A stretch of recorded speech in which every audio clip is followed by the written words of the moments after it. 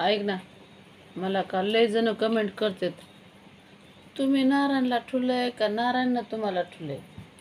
तुमचं love marriage आहे का ते तुमचा नवरा आहे? आता म्हणलं म्या नारायणला ठुलं काय आणि त्यानं मला ठुलं काय? काय फरक पडणार आहे? लेकरं झाले ते झाले हा? नटू. होय. लव्ह मॅरेज केलं तरी तिथंच यायले अरेंज मॅरेज केलं तरी तिथंच यायले लिव्ह इन रिलेशनशिपमध्ये राहिलं ठेवून कुणाला तरी तिथंच यायले हो. इळा कशावर? खरबुजार पडा काय? टरबुजार पडा काय? आणि टरबूज इळ्यावर पडा काय? काही जरी केलं तर लेकर बाळण संसार आहेच आहे का नाही? लय जण तुम्ही नाही नारायणनं तुम्हाला ठुले का? तुम्ही नारायणला ठुले मला कमेंट करते. म्हणलं ना मग. कामाचं ठुला मी हम्म? तुम्ही राखा हम्म. राहते ते. फुकट. काय फुकट? काय फुकट? राहते तर- जाय बरं शेजाऱ्याच्या घरी कोणी बाईट होती का तुला फुकट? इकत बी? आणि इकत बी तुला ठेवून घेते का कोणी?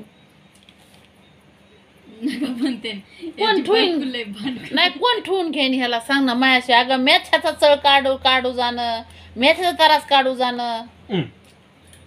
नाही तर उठतालात बसता बुक्की असं. अं, कस काय लय खाईन का? तो? लादबुकीचा मार मी काय म्हणून खाईन? अरे गेला की जमाना ते ते काय अगं याच्या संग मी रानात सत्तर सत्तर किलो कापूस याचलेला आहे. एवढा मोठा सहाव्या सातव्या महिन्याचं पोट घेऊन मी पोटावर ओटी बांधून मी सत्तर सत्तर ऐंशी ऐंशी किलो कापूस याचलेला आहे. मी ज्वारी काढी याच्या संग ह्या दरिंद्याचे असे फोड येत होते. कवा माया मायारात म्या माया माई संग कवा जो कवा तरी केलं असन काम. पण ह्याच्या संग ह्याच्या रानात म्या काम केलेलं आहे. केलंच ना. त्यावेळेस जायचं. तसे दिवस काढून मी राहिलेले. बरबाडे खाल्ले होते लोकांनी पहिला मग चार मला.